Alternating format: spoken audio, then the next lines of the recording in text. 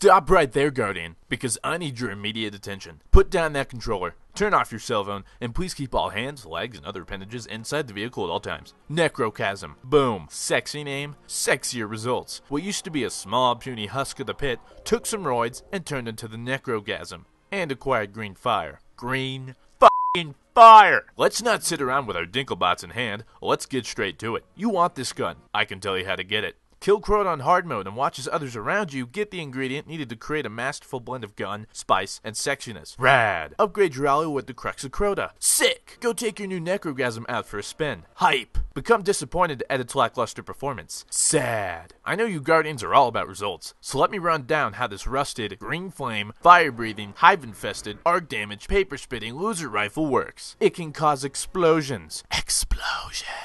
It can fire farther. Farther increases reload speed. Reload speed. That's yeah, yeah, that's about it. That's it. Not impressed? Well, me either. But that shouldn't stop you from grinding out the raid. Many have grinded, and we're here to share their stories with you. I'm going to read an excerpt from my daily journal, taken from January 28, 2015. The Crux of Crota finally dropped for me. Went into PvP. Not sure if Atheon's epilogue or Necrochasm. Bungie, please. End quote. Oh, why does it shoot gray bullets if it's supposed to be arc damage? Tim, Tim, I, I, I think you're colorblind. Color who? I just equipped a rock in my primary slot in place of the Necrochasm. I drew some green flames on it in crayon. Just got more kills with the rock than the Necrochasm.